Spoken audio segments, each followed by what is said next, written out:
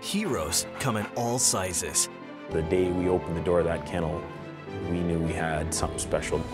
The love and loyalty of man's best friend. And that's when the reality hit that I was going to die out there. Go! Go, Tess! I wasn't going to get out of there on my own. That dog is truly a hero. She got attacked by a bear, and her two dogs intervened. The least I can do is get up and try to get out of here. Pet Heroes brings incredible stories of the dogs who've made a crucial impact in the lives of their families. And then I heard her scamper up the hill. Instinct and intelligence make for surprising and vital action when the heart and soul of canine companions is put to the test. Like a blessing for me to be still here.